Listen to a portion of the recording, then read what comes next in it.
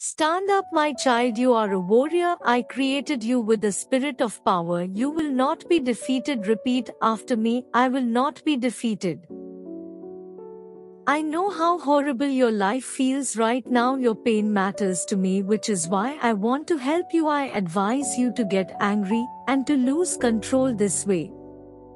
People will begin to respect you. People need to respect you. I am sorry that your life is a little hard right now. However, I want you to know that I will not leave your side. I will give you strength to get through the pain. Put your trust in me. My child, the desires of this world will cause you to feel emptier. The worldly life will lead you further from me. Nothing in this world can fill your life other than me. Turn to me. You have done so much for God, yet you are suffering, and nothing seems to change. Your life is getting worse. Isn't God all about love? Your God isn't with you. Start living your life freely.